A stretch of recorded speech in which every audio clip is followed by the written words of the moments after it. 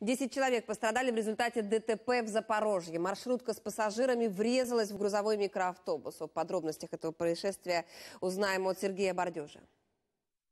Авария произошла около 10 утра на улице Победы. Это центральная часть города. Один микроавтобус догнал другой. Як вдав- нам вдалося з'ясувати, автомобіль Рено повер- е, здійснював е, поворот. Е, В нього е, в результаті чого в нього врізався автомобіль е, Volkswagen з пасажирами.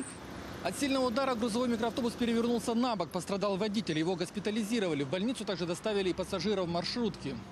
Девять человек из них отправлены домой, обслужены амбулаторно. У них незначительные ушибы и травмы конечностей и головы. Один человек госпитализирован в травматологическое отделение.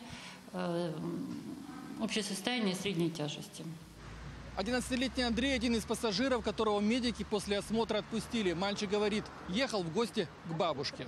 Я сижу, ну, вроде бы едем э, как, э, э, ну как едут все нормальные маршрутчики по этой дороге. И тут я не пойму, а меня относит, я лечу, но, ну, ну вроде меня обошлось все нормально. Вот царапина. Честно, ну это был шок. По иронии судьбы, автомобиль, который перевернулся, вез медикаменты именно в ту больницу, где оказали помощь пострадавшим. Правда, какие именно лекарства были в микроавтобусе, провизоры не говорят.